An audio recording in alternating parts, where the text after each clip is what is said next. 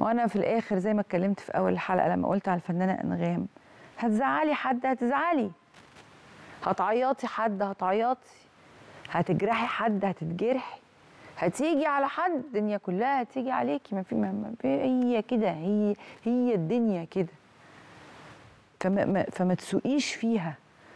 لأن أنا شايفة إن في كيد في التصرفات وانت كنت فنانة يعني انت فنانة لسه كبيرة كنت دايما وقورة جدا وما بتعرضيش حياتك الشخصية على الملأ كده حتى في زواجك مع الفنان أحمد عز ما ما, أعلنتيش عنه.